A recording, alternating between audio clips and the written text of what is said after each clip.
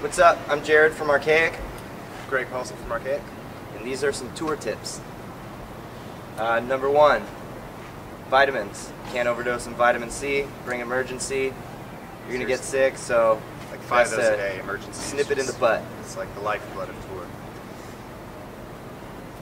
Number two, I would say uh, organized, know where everything is. Sometimes you have to scramble to get things like a cell phone charger before a set, like instrument cable.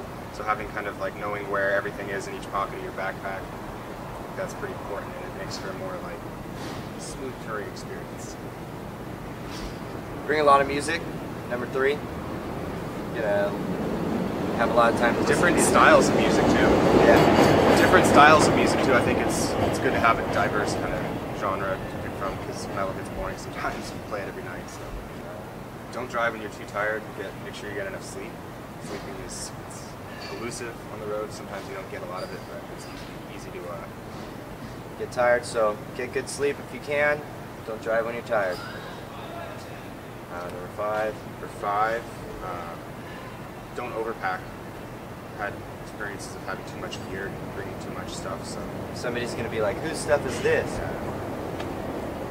Just kind of medium amount.